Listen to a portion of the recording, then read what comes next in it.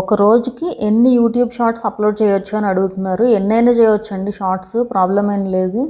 మీ ఓపిక అది అంతే. ఎన్ని ఎడిట్ చేయాలంటే అన్ని ఎడిట్ చేసి అయితే పెట్టుకోవచ్చు. ఇన్నే అనే అయితే ఏమీ లేదు. ఒకటే పెట్టాలి రెండే పెట్టాలి అని అయితే లేదు. సో షార్ట్స్ని నిలువుగా రికార్డ్ చేసి మనం ఎడిట్ చేసేటప్పుడు కూడా నైన్ ఇస్ టు సిక్స్టీన్ రేషియోలోనే ఎడిట్ చేసుకోవాలి. ఎడిట్ చేసి ఆ వీడియోస్ని అయితే అప్లోడ్ చేసుకోవచ్చు అనమాట లేకుండా ఉండాలి అంటే కనుక మనకి యూట్యూబ్ షార్ట్స్లో ఉండే మ్యూజిక్ ఉంటుంది కదా. ఆ షార్ట్స్లో మ్యూజిక్ మాత్రమే యాడ్ చేసుకుంటే మనకి క్లెయిమ్ కూడా రాదు. సో షార్ట్స్ అనేవి ఎన్నైనా అప్లోడ్ చేసుకోవచ్చు. కాకపోతే ఏదైనా కానీ మీ ఓన్ కంటెంట్ అయితే పెట్టేలాగా చూసుకోండి.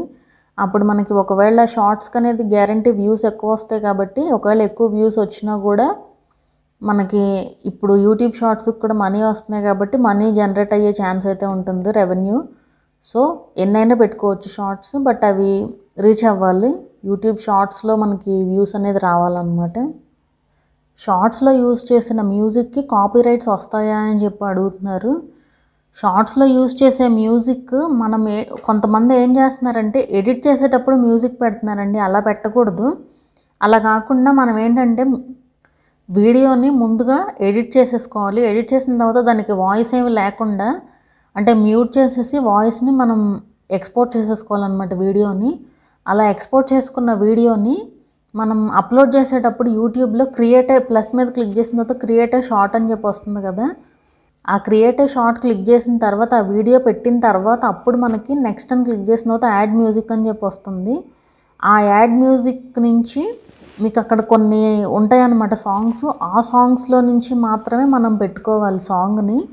అప్పుడే మనకి కాపీరైట్ అనేది రాకుండా ఉంటుంది. ఐ మీన్ కాపీరైట్ క్లెయిమ్ అనేది రాకుండా ఉంటుంది. సో ఏం చేస్తున్నారంటే కొంతమంది ఎడిట్ చేసే టైంలోనే మ్యూజిక్ ఇచ్చేస్తున్నారు. అట్లా ఇవ్వకూడదు. సో మీరు యూట్యూబ్లోకి వచ్చిన తర్వాత యూట్యూబ్ మ్యూజిక్ లైబ్రరీ నుంచి యాడ్ చేసుకుంటే మనకి ఆ వీడియో అప్లోడ్ అయిపోయిన తర్వాత అసలు మానిటైజేషన్ సింబలే రాదనమాట. సో ఇనెలిజిబుల్ ఫర్ మానిటైజేషన్ అని చెప్పి కనిపిస్తూ ఉంటుంది. సో మానిటైజేషన్ అయితే ఉండదు కానీ ఆ మ్యూజిక్ యూజ్ చేసుకోవడం వల్ల మనకి ప్రాబ్లం అయితే ఉండదు.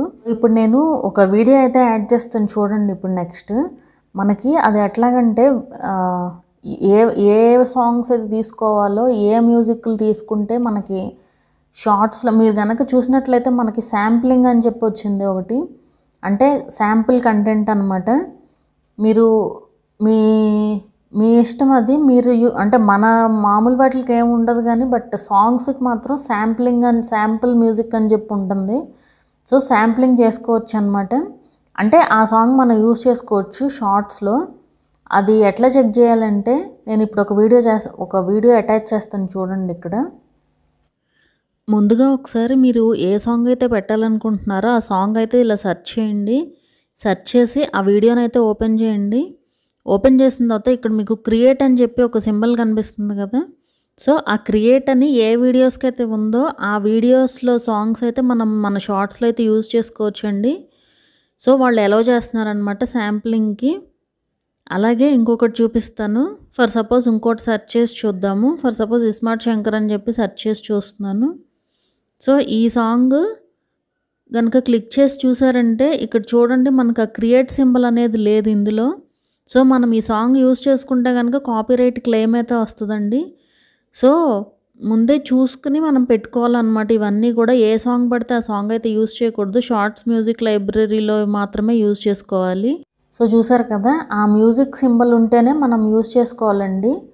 ఆ సాంగ్ని లేదంటే యూస్ చేసుకోకూడదు అనమాట అలా ఫర్ సపోజ్ వాళ్ళు అప్పుడు మనకి యాక్సెస్ ఇచ్చారు తర్వాత వాళ్ళకి ఇంట్రెస్ట్ లేక ఆ శాంప్లింగ్ అనేది తీసేశారనుకోండి ఆ తీసేసినప్పుడు మన వీడియో కూడా పోతుందన్నమాట డిలీట్ అయిపోతుంది.